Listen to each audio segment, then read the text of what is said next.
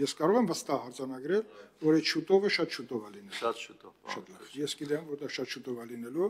եւ պաշտպանական գերատեսչություն ունենալու այնպիսի համակարգ, որը նաեւ օգտակար կլինի թե անznագրային ծառայությանը, թե մյուս պետական գերատեսչություններին նմանատիպ խնդիրների լուծման համար։ Բայց 44 օրյա պատերազմի ընթացքում քննիչ անձնաժողովը նաև տեսավ մեր պահեստազորի խայտարակ վիճակը, բոլորս հիշում ենք, եւ այդ խայտարակ վիճակն էր նաև պատճառը, որ դասեր քաղելու դրանից որոշեց Հայաստանի Հանրապետության կառավարությունը, որ պետքա պատրաստված պահեստազորի խնդիրը լուծված լինի։ Սկզբից որոշեցին 3 ամսյա հավաքներին, ելի խուսափողներ կային, հետո դարձվեց 25 օրյա հավաքներ, process-ը տեղից շարժվել է, բայց այստեղ մեկ այլ խնդիր էլ կա՝ հետ պատերազմյան իրողությունները եւ շատերի կողմից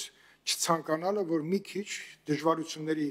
հաղթահարեն եւ մեր երկիրը դարձնեն ավելի պաշտպանված եւ նաեւ զինկոմիսարիատները ճանաչելով ավտոմատ կառավարման համակարգ, իրենք բոլորին ցանուցագիր են ուղարկում, ինչքան հնարավոր շատ, ինչ կստացվի, կստացվի, դա բերում է դժգոհությունների, խոսակցությունների, կասկածանքի եւ այլն։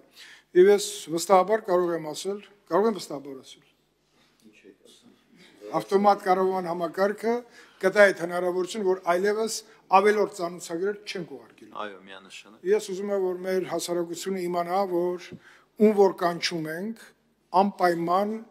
խուսափել հնարավոր չի լինելու։ Այս համակարգը ինչ որ պարոն Սարգսյանը կետ առ կետ փորձում էր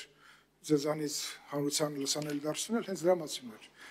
Եվ հաջորդը մենք բոլորս անելիք ունենք պատրաստված լինելու առումով։ Եվ ինչքան պատրաստված լինենք, այնքան կլինենք մեր կյանքի տևողությունը երկար պահելու հնարավորություն կունենանք։ Տիկին Ստեփանյան, դուք տղա ունեք, կարող եք մասնակցեք, եւ սա կարեւոր է բոլորին։ Կմեծանա, փոքրով չի մնալու, շատ լավ։